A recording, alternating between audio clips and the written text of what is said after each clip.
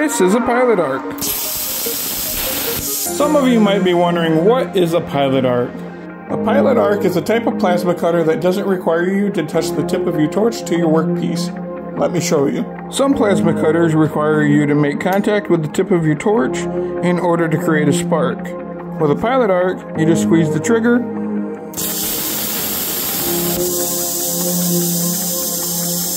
and it creates a spark.